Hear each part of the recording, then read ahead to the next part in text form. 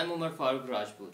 I'm an KLS, KLES alumnus in year 2011-12 and I'm competing for General Secretary of Puan Sukkur, Puan Sukkur chapter.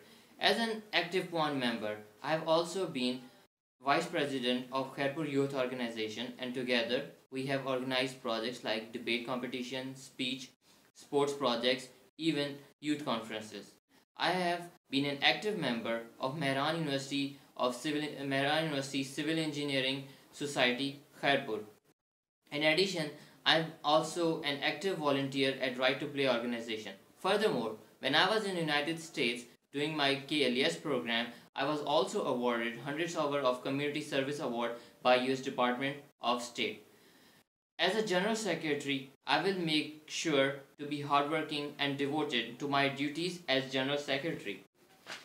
To have everyone uh, be provided with equal participation in Puan funded projects, respect and obedience to senior members and executive committee of Puan Sukkur chapter, asking for guidelines to senior members of Puan Sukkur chapter in my given task. As a general secretary, I will make sure that all the men mentioned, mentioned agendas are brought into existence and implemented sincerely and for that I will be needing your support. So don't forget to vote for me. Thank you for your listening.